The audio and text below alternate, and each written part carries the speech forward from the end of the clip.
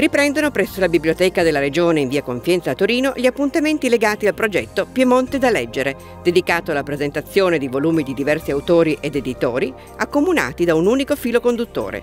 Nel primo appuntamento, il 2 marzo, sono presentati i libri Un'indagine coi baffi di Graziella Ardizzone e I Pelagra di Giuseppe Furlano, entrambi editi da Bai Maronchetti. Si prosegue tutti i mercoledì con ingresso gratuito, sino ad esaurimento posti.